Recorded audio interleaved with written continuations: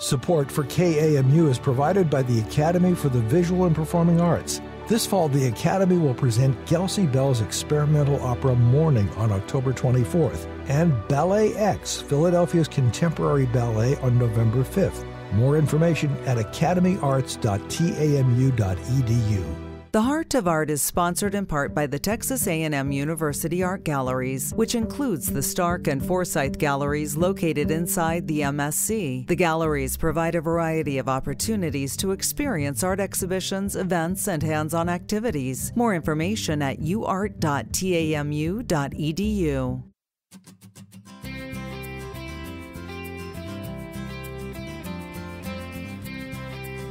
The Heart of Art scoping the Brazos Valley for the best artists and bringing them to your radio.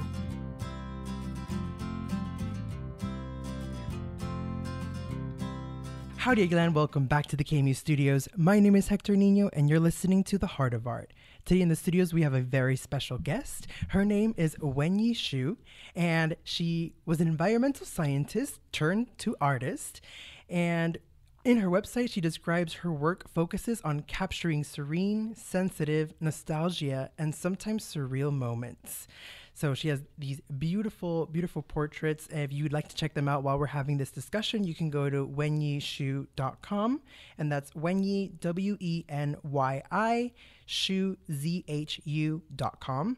And her Instagram is also Wenyizhu 2023, where you can check out those images. So, hi, Wenyi. How Hello. are you today? Good. How are you? I am so excited for our conversation today. I came across your work uh, at the Visual uh, Arts Society website, and I, I saw that you recently won in the professional category. So, congratulations for that. Thank you. Um, yeah, how did that feel winning that competition? Oh, it's exciting, and uh, I I feel like I get recognized, and I was so so gratitude for everything. Yes. Right, and you started relatively recently, right? Because I saw that your shows are mostly in 2024, all this year, right? Uh-huh. Yeah, yeah, and uh, yeah, mostly yes. Uh, so you just Yes. started showing your work then? Yes, yes, but I've been creating for a while. Okay, okay. Yes. and we'll definitely be getting into that. All right.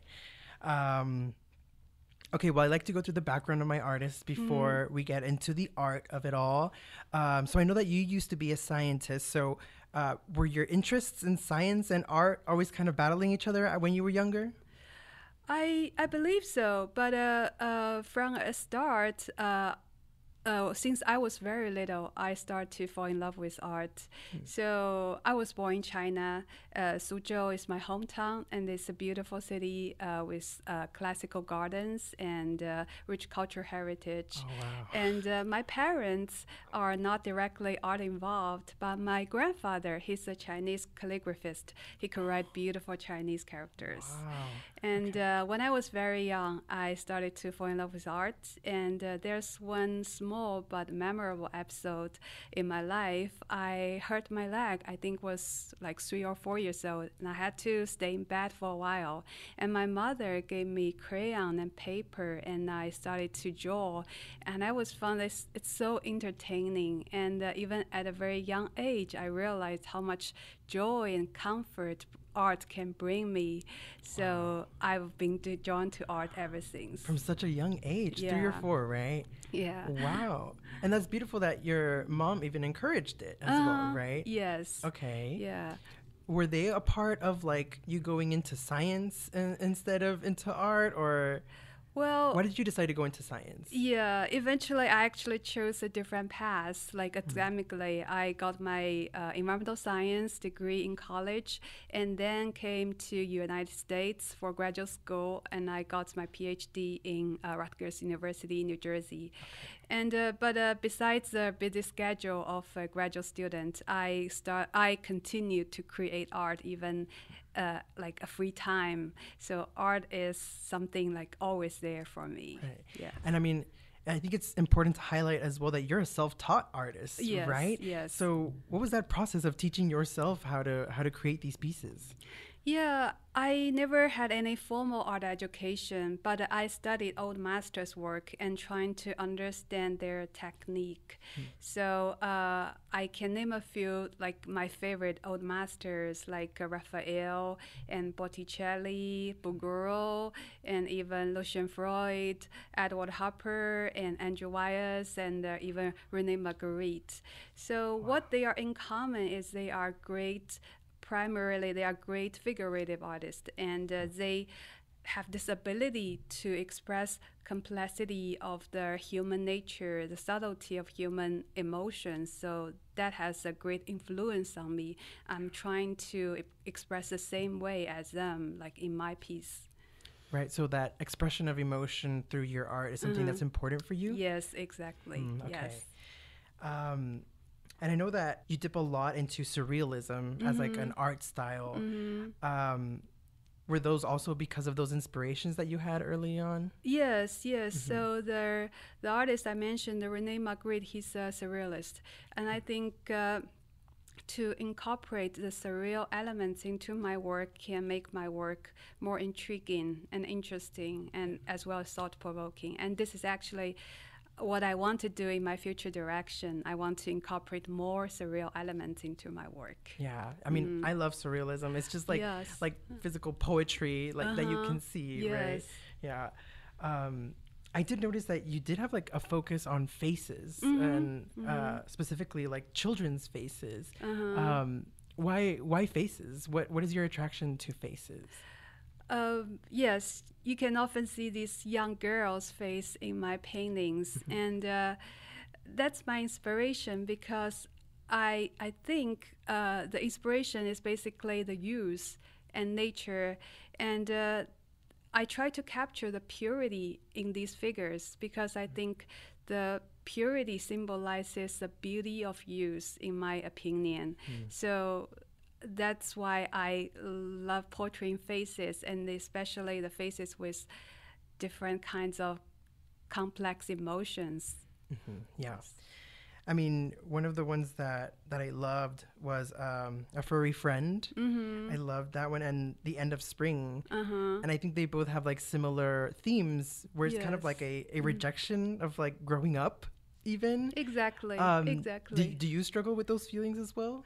I think so. Yes, yeah. yes. When I was young, because I, in a way, like I kind of have to choose a scientific career, but uh, I also have the love of art. So there's always a little struggle in me. So mm-hmm. I think that kind of portrait of when I was younger. right. Yes.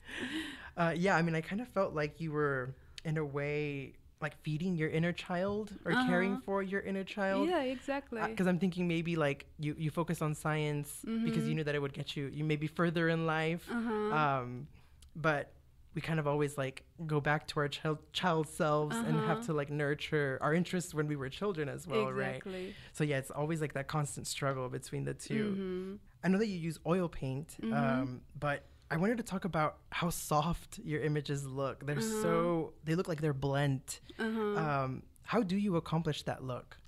So uh, the process uh, like I'm using for my paintings called multi-layer oil painting technique. Mm. And it's actually a technique can date back to Renaissance artists and later French academic artists. So it's basically involved two steps. So first is called grisaille. Grisaille is just a black and white monochrome underpainting. So you just use black and white and uh, the gray mixture and to cover the whole painting. And the final result is like a black and white photograph. Mm-hmm. and, uh, and then when it's dried and you start to glaze, a glaze means use uh, these transparent or semi-transparent oil colors to cover it like one layer by another layer and uh, you can repeat this like as many times as you want until the desired like final effects is there. So for example, like if I'm trying to portray the face, and the first step is uh, black and white underpainting. And then I will try to add different of glazes. First, I add a cool tone like the olive green, ultramarine blue. And then after this layer dried out, I add the warm colors like uh, yellow ochre and uh, vermilion red. And layer by layer, and then it can achieve the effect of like translucent and the realistic effect I'm looking for in right. my painting. Mm-hmm. Yeah, that sounds to be really time consuming because you it have is. to wait for it to dry, right? Exactly. Before every layer. Uh-huh. How long does a piece take you to make? well, average? I think for like uh, 24 by 24 usually takes like a month usually wow. yes yes that's incredible i mean yeah you can definitely tell that there's a lot of work put into it i just mm-hmm. didn't know how i had no idea how so thank you for explaining that for me um, another series that I really loved was the Fragile Glitter mm-hmm. because when I was going through your Instagram, I thought they were actual photos of dolls. Oh. they looked so real. Um, what's the story behind that the the Fragile Glitter series? Um, I love dolls. Mm-hmm. Like as a as a girl, like uh, when I was little, I collect Barbie uh, Barbie dolls, mm. and I also love the uh, shiny surface of these porcelain dolls because I think it stands for a kind of purity that what I'm always attracted to, and also the fragile the fragile feelings uh, that it's so beautiful but it can break so easily. So i think that's the main story behind these paintings. Uh, i try to create this emotion of kind of like melancholy because you know it's going to break eventually but th- this moment is the best moment to see these beautiful images to mm. see these beautiful dolls. I yes. see yeah you have to appreciate the moment mm-hmm, that you're exactly. In. Yeah. yes. What do you would you say is the purpose of art? That's, that's, a, big question. Yeah it's very broad. I understand yes.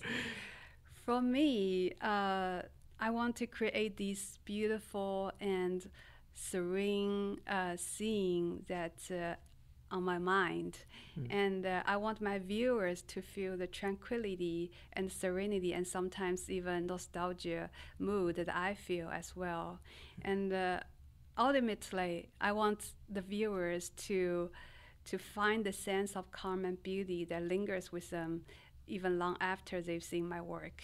And for me, that's the purpose of my art, and that's what I'm viewing on art. Okay, yes. so you value the feeling that uh-huh. the viewer takes yes. from your painting. Exactly. Okay, yes. I see. That, that's beautiful. What exactly is your artistic process? Do you start with an idea or do you start with like an image, maybe like a photograph, or yeah, how does that go from the beginning to end? Okay, uh, yeah. So my artistic process usually start with an inspiration, and this inspiration can come from anywhere, like a picture, a painting, some day-to-day life that I see, and also maybe just a piece of writing and then an image will form uh, on my mind and I will try to sketch it out uh, on a paper. And the first sketch could be pretty rough, like just a few lines or blocks of colors, but it's enough to capture the basic idea. Mm. And then I will try to find the right model for my image in order to bring them to life. And sometimes I use my daughter as uh, my model, wow. but other times I will just search online and to find the right reference photo that uh, uh, fits my need. And then, then I will keep refining the sketch until I feel satisfied with the uh, pose, composition, and the expression, things like that. Wow. And from there, I will transfer my sketch to the iPad because I can play with the color palette. I can play with the color combination in order to convey the, the mood and the, the um, emotions I want to uh, express in this piece. And uh, the good thing about iPad is you can try unlimited times right. as long as you want and you can play with it. Mm-hmm. And until I got this design I'm satisfied with, and then I will stop paint to the canvas. Right, and no waste of paper on that one. Exactly. Saving the trees here. Yeah, that's the environmental science. exactly. I love that. You see, your science is still Uh-huh, involved in your art. Yeah, yes. definitely. Um, I'm wondering about, you know, you have a daughter. Is Uh-huh. art something that y- important for you to like get closer to her? Uh, yeah, she loves art too. Yeah. I think in a way because she's always seeing I'm like painting out there, and uh, then she will grab paper and start doing the same thing. I think that's one impact on her. Yeah. Oh, that's beautiful. And how old is she? She's ten years old. 10 years. Okay, yeah. I'm interested in like your pursuing of science and what would you say to people who are kind of like picking their career and seeing like, you know, what am I going to do with my future? Should I go into something that's going to you know, get me further in life, or should I go through like my passions first? Like, what would you say to someone that's um, struggling with with that idea?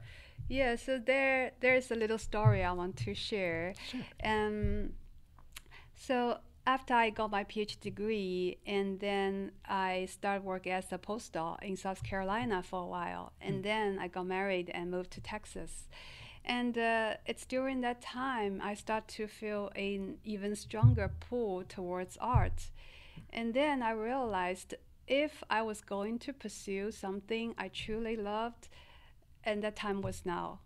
So then uh, there was a very little thing, but it really stands out as like triggering for my decision to become a a full time artist, and it was like on a cloudy day, and uh, in the afternoon I was staying at home and I was looking at pictures, paintings that uh, created by other artists, and on an online art community, and uh, I I thought to myself if I ever have another life, I will definitely become an artist.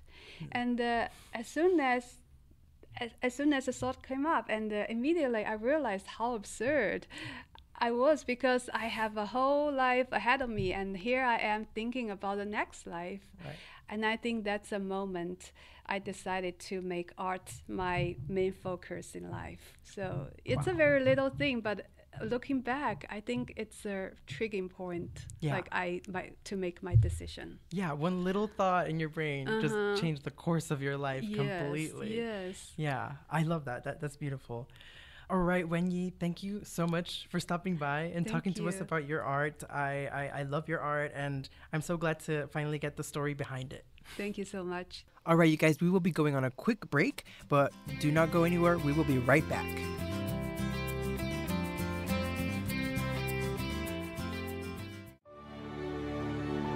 The Heart of Art is brought to you by the Academy for the Visual and Performing Arts at Texas A&M University, bringing innovative and culturally diverse visual and performing arts programming to Texas A&M University and the Brazos Valley. The Academy for the Visual and Performing Arts fosters the creativity of our community via the transformative power of the arts.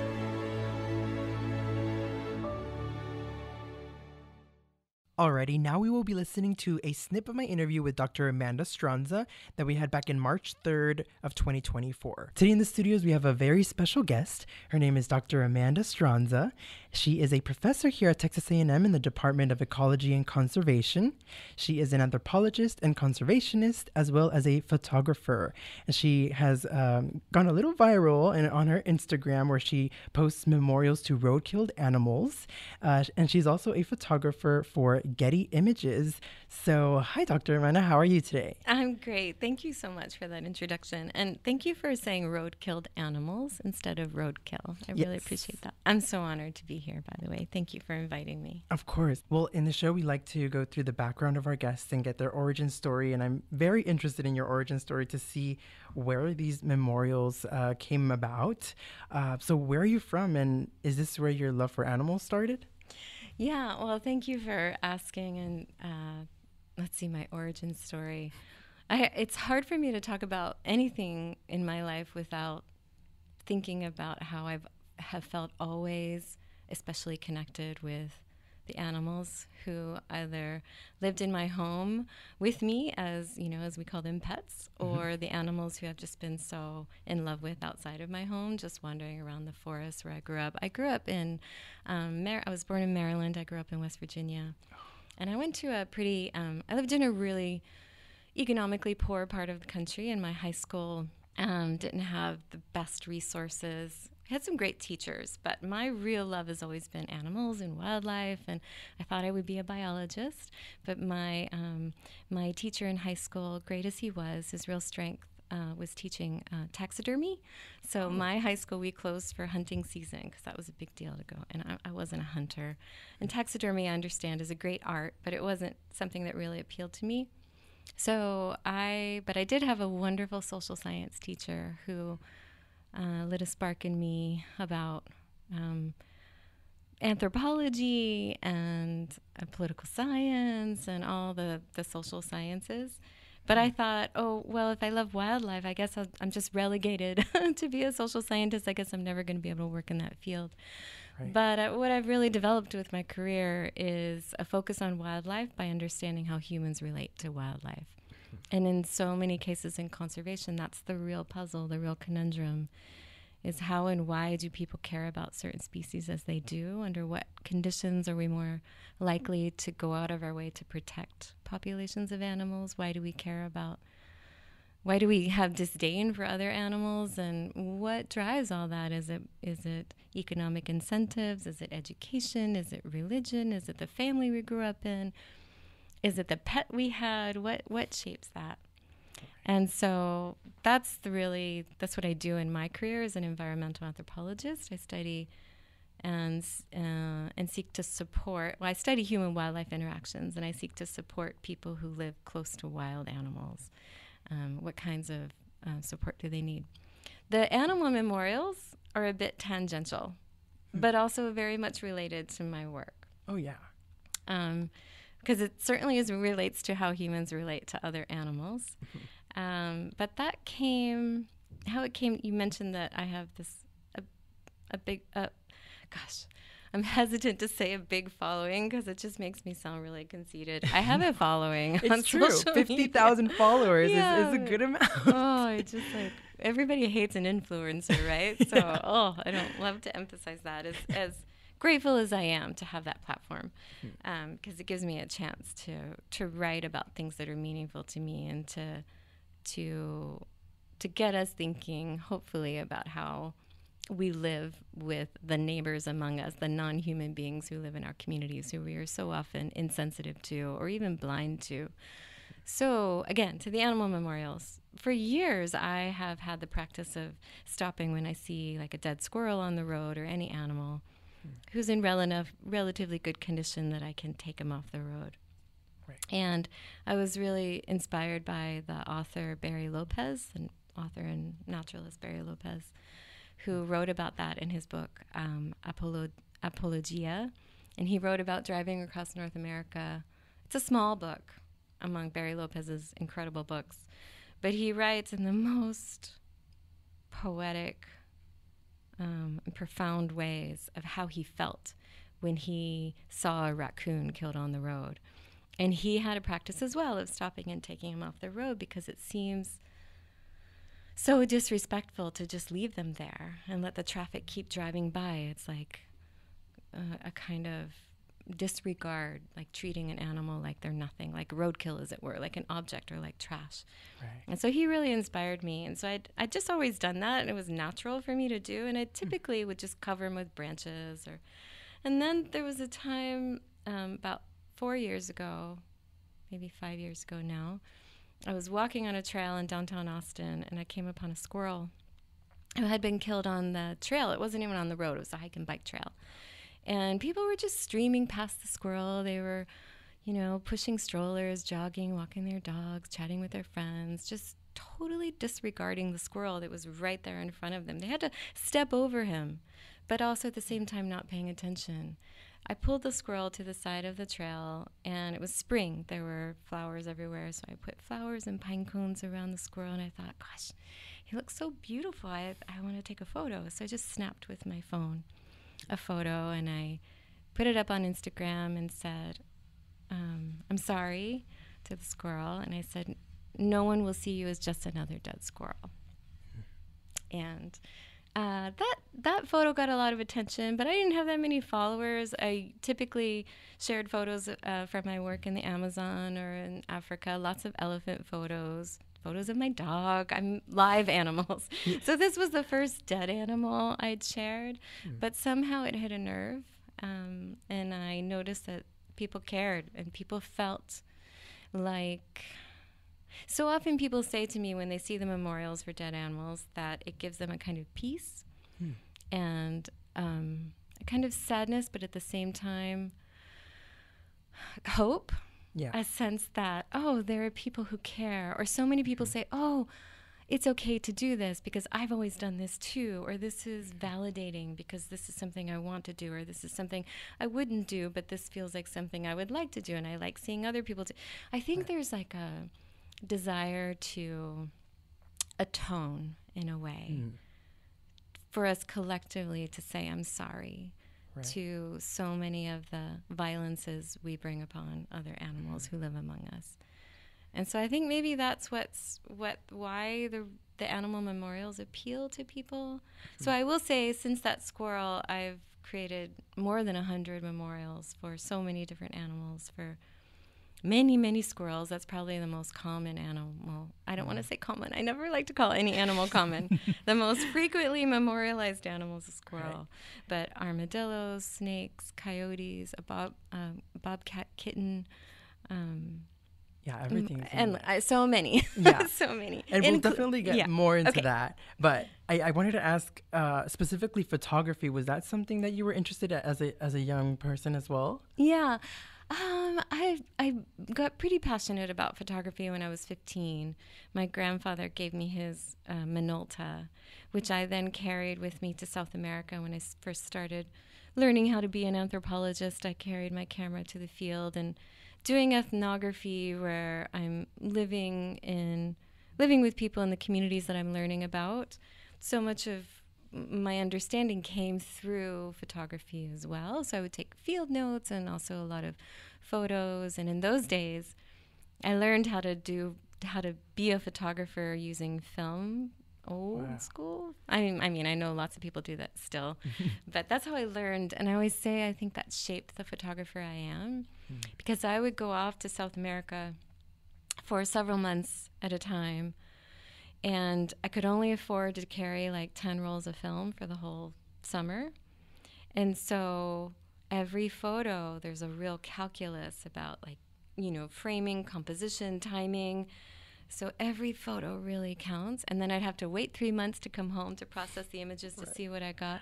So now, as a photographer, as a digital, using, of course, digital technology, I'm still a very careful I know because I'm, I'm always surrounded by fellow photographers and with Getty images and so forth. I'm aware of people who, or like on safaris, that people just like shoot their cameras like they're fire like machine guns or something. Yeah. I just don't do that. So I'm like a single click at a time. You're very strategic. I'm very strategic about it. There's still an economy, a certain calculus involved. But hmm. but yeah, I've always been really passionate about photography, well, since I was 15.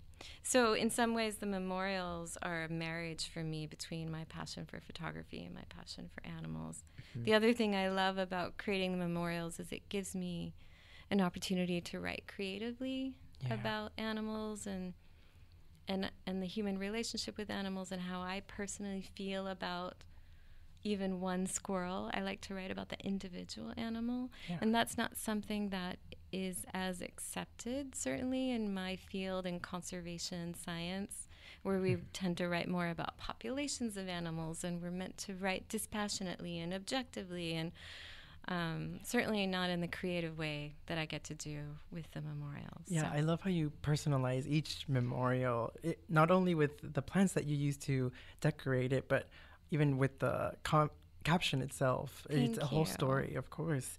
Um, I, I was curious, like, was death something you thought about often, and or did that come about after mm. your studies? Mm, I think you're the first person to ask me this. Uh, I would say that I have not spent my life being preoccupied by death. Um, and I'm joking a little bit, but I'm also not, in that since I've started writing more um, explicitly about death and themes around death, it's something that's become more and more important to me and almost sacred. And I feel has, I don't know, it's been a real change in my life in a positive in a positive way. If you'd like to listen to the full interview, you can go to kamu.tamu.edu and search The Heart of Art.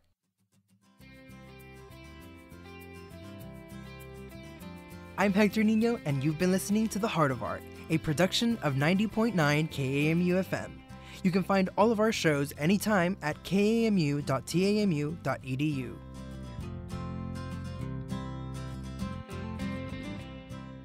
The Heart of Art is sponsored in part by the Texas A&M University Art Galleries, which includes the Stark and Forsyth Galleries located inside the MSC. The galleries provide a variety of opportunities to experience art exhibitions, events, and hands-on activities. More information at uart.tamu.edu. Support for KAMU is provided by the Academy for the Visual and Performing Arts. This fall, the Academy will present Kelsey Bell's experimental opera Morning on October 24th and BalletX, Philadelphia's contemporary ballet, on November 5th. More information at academyarts.tamu.edu.